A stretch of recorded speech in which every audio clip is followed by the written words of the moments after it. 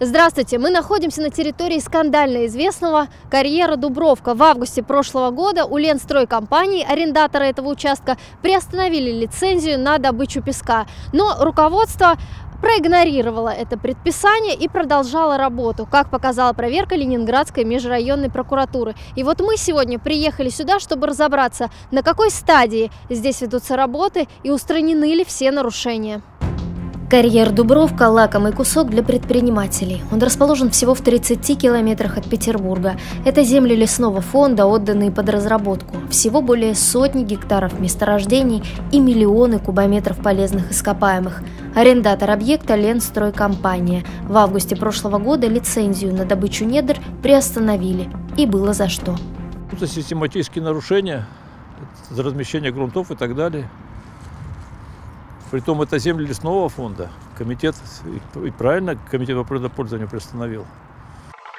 Эколог Сергей Виноградов не упускал Дубровку из виду несколько лет. Он фиксировал то, что происходило на площадке уже после приостановки лицензии. По его словам, на протяжении полугода здесь кипела работа. С карьера КАМАЗа везли песок, обратно – строительный грунт.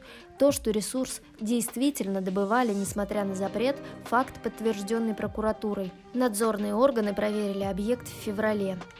По результатам проверки было выявлено, что а, значит, на карьере Дубровка организация Ленстройкомпания осуществляла деятельность, а, связанную с недропользованием. Вместе с тем, ранее, в конце 2019 года, Комитетом по природным ресурсам Ленинградской области а, право пользования лицензией было приостановлено ввиду допущения организации нарушений. Когда прекращена добыча песка и вывоз его отсюда? Добыча э, у нас с начала августа месяца, как была приостановлена лицензия. А отгрузка производилась просто ранее проданного материала уже. Ну вот я 20 дней назад в прокуратуре здесь был предохранной, значит, добыча велась прям на эти, внизу прям, э, не какого-то песка, который был заранее добыт, а прям брали прям с этого места.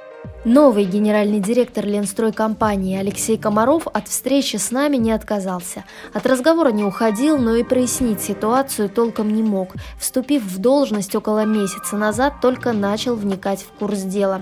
То, что добыча песка запрещена, Комаров не отрицал, но и на продажу ранее добытого ресурса запрет не распространялся. Соответственно, вывозили то, что добыли до проблем с законом. Такова версия руководства. Вот это, это... как раз прокуратура в рамках административного дела и должна все это доказывать.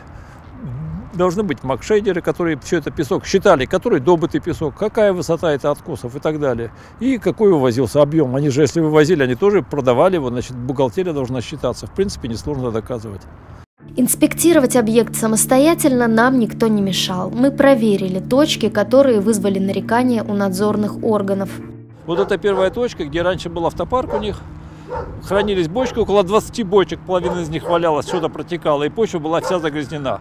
На сей момент, ну, пока каким-то образом это устранено. Но если не закапывалось все, а было вывезено и бочки убраны, ну, могли же на другое место перевести. Вот на этом месте я не вижу нарушений пока экологических. Во время прокурорской инспекции в феврале на территории Дубровки работали помпы. Они откачивали с площадки воду, которая подтопила карьер. Четыре помпы работало, которые откачивали это всю воду в различных местах. Это законно, нет?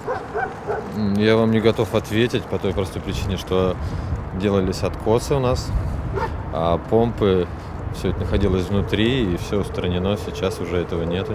Я считаю, что помпы не должны были работать и откачивать, потому что тогда надо с, лесным, должны определить место и почему это должно происходить. На землю лесного фонда было вынесено. И второе, не должна производиться добыча песка. То есть он должен быть, тот песок, который добыт, он должен быть учтен, и только он вывозится.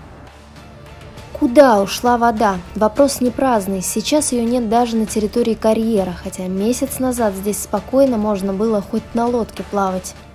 Пару лет назад здесь люди еще отдыхали, то есть вот прямо где мы сейчас идем и чуть-чуть пониже э, можно было лежать, загорать, а вот дальше все было обводнено, то есть здесь можно было спокойно покупаться, э, обводнение буквально вот 5 метров и все было покрыто водой. Здесь были даже какое-то время назад трамплины для прыжков в воду, сейчас, естественно, их уже разобрали. Это уже другой карьер, расположенный буквально через дорогу от Дубровки. На картах он обозначен как озеро Лазурное, но вместо него теперь марсианский пейзаж.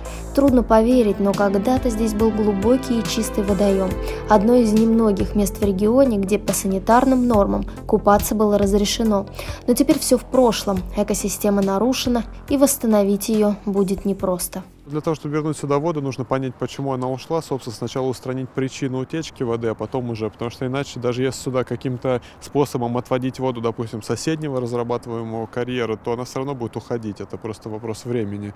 Поэтому тут нужно понимать, почему она ушла, гидрологию изучать, инженерные изыскания проводить, и уже после этого будет понятно и причина, собственно, почему вода ушла, и как ее устранить. А вы к какой причине склоняетесь? Я думаю, что, скорее всего, конечно, из-за соседнего карьера, потому что там карьер полностью сейчас обводненный, стоят откачивающие э, устройства, помпы, то есть э, они сами пытаются избавиться от воды, которая к ним приходит и приходит. Ну, логично предположить, что карьер, который находится меньше, чем 500 метров отсюда, как бы одна из основных причин.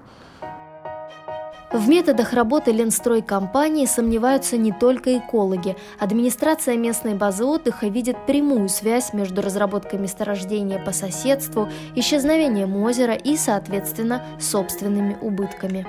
Ну, цифры я, конечно, озвучивать вам не буду, это все-таки коммерческая тайна. Но нам стало очень тяжело, потому что как бы арендная плата и в федеральный бюджет, и в областной бюджет э, достаточно большие там суммы.